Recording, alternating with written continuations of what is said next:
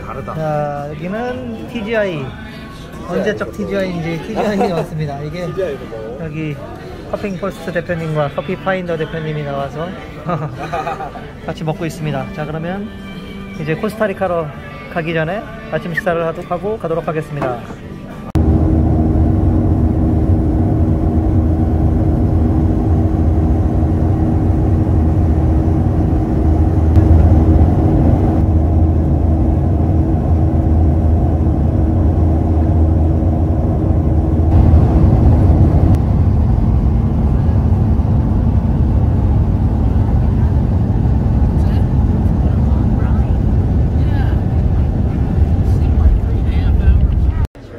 자, 여기는 코스타리카 공항에 도착했습니다. 보이는 아메리칸 에어라인 비행기를 타고 벌써 밖에만 봐도 깨끗하지 않나요? 그러면 여기 커피, 아, 커피 파인더 됐습니다. 여기 커피 포스트 대표님 여기 다 보이네요. 우리 도착해서 이제 코스타리카 입국 심사 줄이 끝이 안 보입니다. 여기 지금 이미 한 바퀴 돌았는데도 저뭐 앞이 얼마나 있는지 보이지 않는 거리두기 스티커는 있지만 요식행위처럼 30cm 간격으로 붙어 있는 것 같은데 이건 뭐 거리두기가 불가능한 상황이에요. 이는 스타벅스. 스타벅스 중에 가장 유명한 어, 하시엔다 알사시아라는 곳입니다. 자, 화면을 보여드리면 저기 커피 공장이 보이죠. 공장까지 보이는 그 공장을 갖고 있는 스타벅스입니다. 전 세계에서 가장 뭐랄까 큰 스타벅스라고도 할 수 있는데 어 저는 태어나서 카페에 와서 전 지린 적이 딱 두 번 있습니다. 그게 두 번 중에 하나가 음 작년 밀라노 대회에 갔던 그 WBC 대회 갔을 때 처음 가본 밀란에 있는 스타벅스. 아 정말 우리나라로 치면 청담동 한가운데 진짜 럭셔리한 카페를 만들어 놓고 한 잔에 한 1,500원에 파는 말이 안 되는 그런 가게죠. 뭐 로스터인데 그 상하이 갔을 때도 뭐 그렇게 감동 없었는데 밀란에서 보곤 정말 깜짝 놀랐습니다.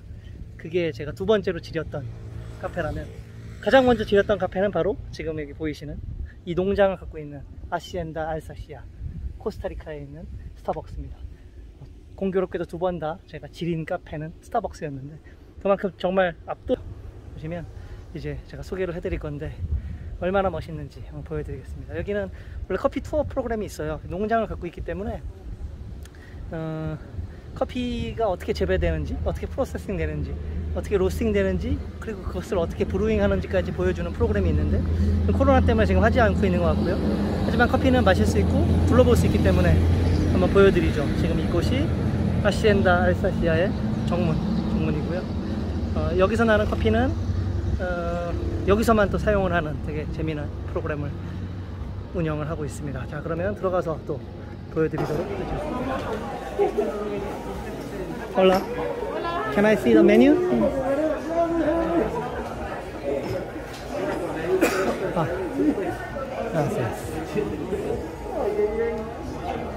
자, 메뉴가 보입니다.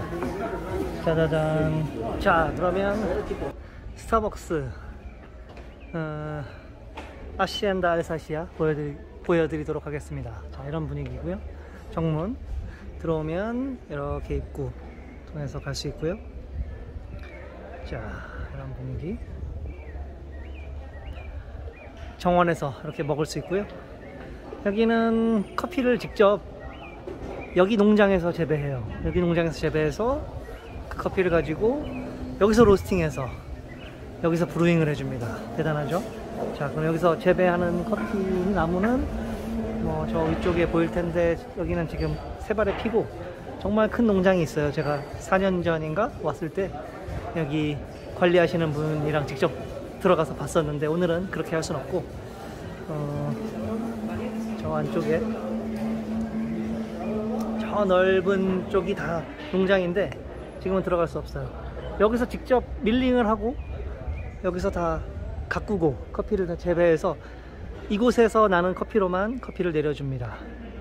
자, 이곳에서 커피를 밀링을 했다면 그 커피를 가지고 바로 여기서 로스팅을 하죠. 자, 로스팅 하는 장면. 자, 로스팅은 여기서 원래 조그맣게 작은 로스터기로 샘플 로스팅을 하고요.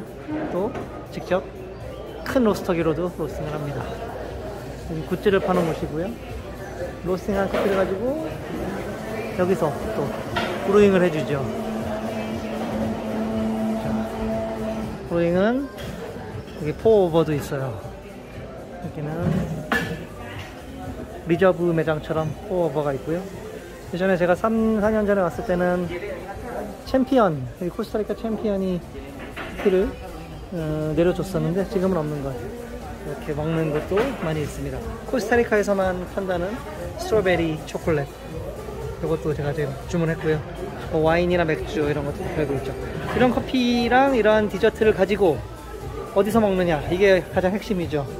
자 보시도록 하겠습니다. 바로 이곳에서 사람들과 함께 이런 전경을 보면서 먹게 됩니다.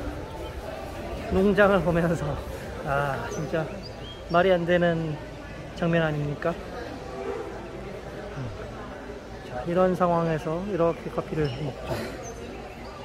아, 정말 놀랍죠. 자,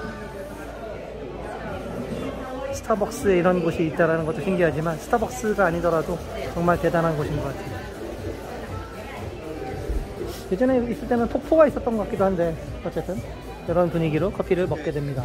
지금 여기 대표님 두 분도 드시고 계신데 제프 커피 열심히 또 어떠신가요? 아직 안 드셨겠지만 어, 여기서 나오는 커피로 재배한 스타벅스 커피를 한번 저도 먹어보도록 하겠습니다. 자 드시죠. 일단 배고프실 테니 먼저 먹어보도록 하겠습니다. 그러면 잠시 후에 이 풍경과 함께 저는 커피를 먹도록 하겠습니다. 짜잔, 짜자잔. 어떻습니까? 딸기 민트 스무디, 딸기 민트 스무디를 먹어줘야죠. 스타벅스에 왔으면 또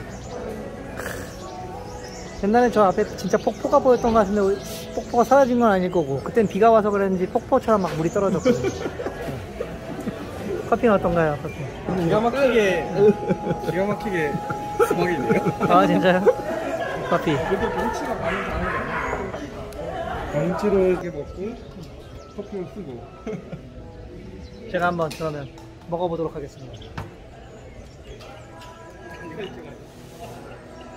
아, 역시 수박, 역시 수박이지. 커피는 수박이죠. 커피는 수박.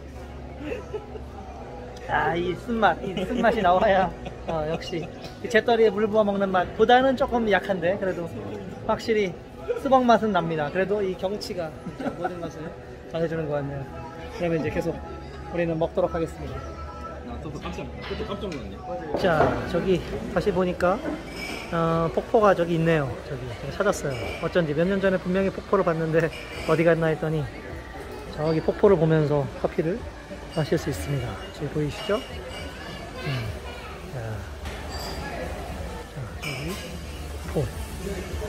폭포를 보며 커피를 마시는 스타벅스 자, 어디서 이런 경험을 하겠습니까? 자 이제 슬슬 돌아가야 될 것 같아요. 여기까지 오는데 꽤 멀었는데. 음뭐 충분히 먹고 쉬었으니. 다시 와야죠. 내년에 또 와서 보고 싶습니다. 스타벅스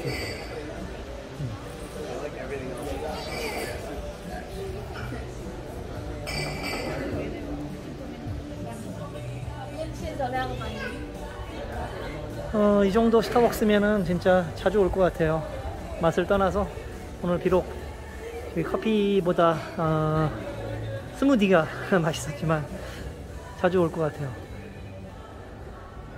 바깥쪽은 뭐 아까 잠깐 보여드렸지만 이런 분위기고요. 밖에서도 커피를 마실 수가 있는 것 같아요. 여기 야외 야외 테이블. 어, 저녁 되니까 굉장히 쌀쌀해졌어요. 여기 산이라서 그런지 역시 농장이라 춥네요. 어, 여기서 앉아서 딱 커피 한 잔 먹으면서 농장을 바라볼 수 있죠. 어, 여기는 폭포가 보이진 않지만. 자, 그러면 여기까지 보여드리고 스타벅스 코스타리카 편 어, 여기서 끝내도록 하겠습니다. 그러면